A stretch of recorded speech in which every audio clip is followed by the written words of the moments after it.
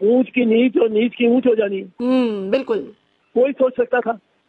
बिल्कुल। लेकिन मनसूबा साजों ने कुछ मनसूबे बनाए हुए थे। हम्म। और बड़ा उस पर परफेक्ट एक्शन हुआ। तो ये आपको क्या लगता है एतजाज साहब ये जो 9 मई को जो कुछ हुआ है हम पहले भी बहुत दफ़ा मैं अपने प्रोग्राम में बात कर चुकी हूँ कि इसकी तो कोई जस्टिफिकेशन नहीं। चाहे कोई नैब की बिल्डिंग पे पथराव करे किसी सिविलियन बिल्डिंग पे पथराव करे या फौजी तनसीबात पे पथराव करे या जलाओ गिराओ कोई भी मुहिब वतन पाकिस्तानी अपने मुल्क का कोई पौधा तक नहीं जला सकता। बिल्डिंग तो बड़ी दूर की बात है। लेकिन इमरान खान के तो जो सपोर्टर्स को ज़्यादातर कहा जाता था कि ये तो बर्गर हैं, इनको क्या पता स्ट्रीट पॉलिटिक्स का? पीटीआई का तो बड़ा मज़ाक उड़ता था। खासतौर पर पंजाब का जो जटका कल्चर है उसमें। तो ये जो सारी चीज़ हुई, इसमें आपको क्या लगता है कि ये अवाम मिसलीड हुई है? किसी ने उनको मिसलीड किया? या फिर वाकई अवाम इतनी मुश्तिल हो चुकी थी कि वो सही, गलत की सारी पहचान ही भूल गए? देखो मलिया एक आदमी है। जो कलीबी जिसका किरदार। हम्म। उसको आप इंटेरोगेट करें। उसको इंटेरोगेट किए बगैर कुछ फैसला नहीं होता। And who is that person क्योंकि क्योंकि इशू ये है कि इतना टाइम छह घंटे जुलूस भी जाता रहा आग भी लगती रही। सही। और उसको मॉनिटर बाई दी मिनट किया गया। हम्म। मॉनिटर इतना किया गया उस जत्थे को कि ये कहते हैं ये गवर्नमेंट ने गवर्नमेंट ने खुद दिया है हम्म। ये प्रोग्राम कि दो बज के चौंतीस मिनट पे वो विमान पार्क से चले हैं। हम्म। तीन बज के बत्तीस मिनट पे वो पहुँचे हैं लिबर्टी चौक हम्म।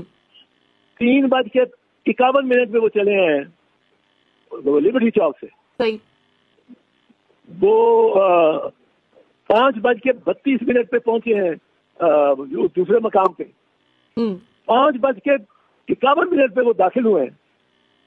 जो दूसरा बड़ा जत्था आया तो फिर वो दाखिल हो गए। जी जी।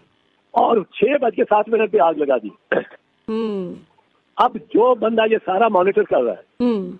जो बंदा जिसकी प्राइमरी ड्यूटी है ये ऐसे मामले को रोकना जो बंदा जिसके सारे दायरा इख्तियार में कोई पंद्रह जगह ये ऐसे वाकयात होते हैं जी।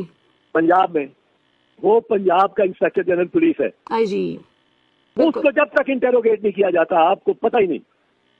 पता नहीं लग सकता वो आप उसको कहें कि भाई तुमने किस तरह किस वजह से? आईजी साहब आप देखो आईजी ऐसे मामले पे तो आईजी छोड़ इंटीरियर सेक्रेटरी भी ट्रांसफ़र हो जाता है। जी बिल्कुल। इतना बड़ा वाक्य इतना घनौना शदीद बिल्कुल। शॉकिंग वाक्य। बिल्कुल।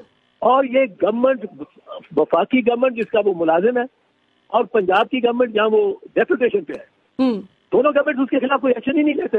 हम्म। ये क्यों नहीं एक्शन लेते? क्यों नहीं एक्शन लेते? और कोई इंटेरोगेशन भी नहीं हो रही क्योंकि हम्म। इनके अपने गुल्लू भट्ट जो है।